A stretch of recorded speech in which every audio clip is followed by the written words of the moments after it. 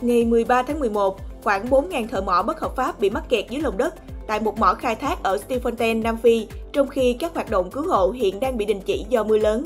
Người phát ngôn của cảnh sát địa phương cho biết nỗ lực cứu hộ sẽ được tiếp tục khi thời tiết quang đảng. Ông cũng cho biết hơn 50 thợ mỏ bất hợp pháp tương đối an toàn, còn những người khác vẫn còn ở dưới lòng đất. Một số nhân viên cứu hộ phải xuống lòng đất bằng dây thừng, chứng kiến ở đó đang có hàng ngàn thợ mỏ cùng với một số thi thể. Họ cung cấp thức ăn và nước uống cho những người thợ mỏ bị mắc kẹt. Cảnh sát và nhân viên y tế cũng có mặt tại hiện trường.